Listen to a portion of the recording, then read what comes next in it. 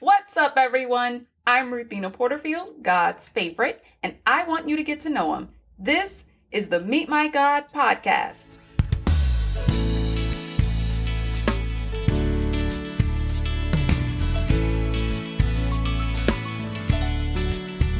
Today we meet God in Exodus chapter 9, verses 24 through 26.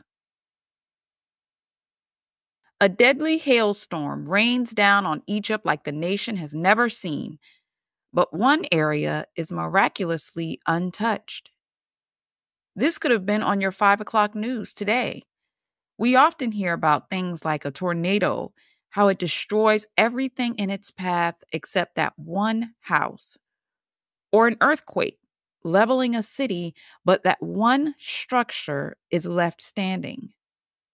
Read today's passage like the latest news story and see how God's hand and his sovereignty have been working through the weather since the beginning of time.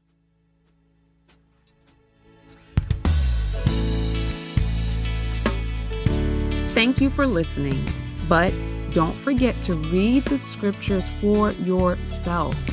And if Meet My God is part of your daily devotion, please consider supporting the podcast with a small monthly gift by clicking the support the show link in the show notes. Until next time, peace, stay cool, and God bless.